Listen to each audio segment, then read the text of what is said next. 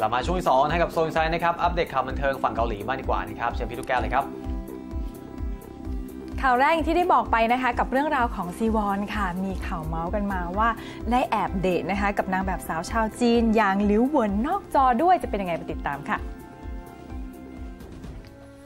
ซีวอนค่ะสมาชิกหนุ่มแห่งวงซูเปอร์จูเนียร์และนางแบบสาวระดับซูเปอร์สตาร์ชาวจีนนะคะอย่างหลิวเหวินได้ร่วมใช้ชีวิตในแบบคู่แต่งงานหลอกๆ ในรายการเรียลิตี้โชว์สุดยอดฮิตเลยนะคะ กับ We Got Married ค่ะ จนล่าสุดมีข่าวลือนะคะว่าทั้งสองซูเปอร์สตาร์แห่งวงการบันเทิงทั้งเกาหลีและก็จีนคู่นี้เกิดปิ๊งกันนอกจอขึ้นมา แล้วก็ได้แอบเดทกันอยู่ในเวลานี้ด้วยค่ะ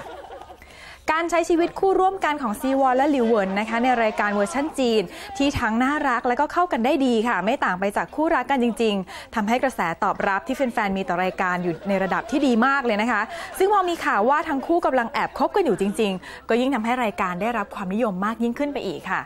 และกระแสข่าวลือนี้ก็ยิ่งแพร่สะพัดไปมากขึ้นนะคะ เมื่อผู้จัดการส่วนตัวของหลิวเหวิน ปฏิเสธที่จะแสดงความคิดเห็นเกี่ยวกับข่าวนี้ เนื่องจากไม่รู้จริง ๆ ว่าหลิวเหวินกำลังแอบเดทอยู่กับซีวอนจริงตามข่าวหรือเปล่าค่ะ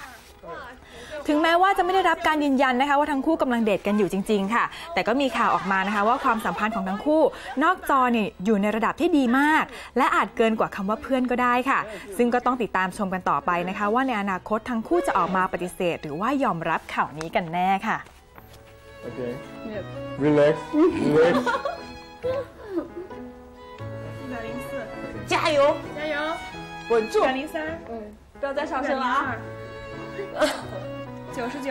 不行了，掉下来了。九十二。 อุ้ยอุ้ยดูเองอินเองค่ะคุณผู้ชม จะไม่ให้คิดว่ากิ๊กกันได้ยังไงยังไง ก็รอติดตามแล้วกันนะคะ ว่าทั้งคู่จะออกมายอมรับหรือว่าปฏิเสธค่ะ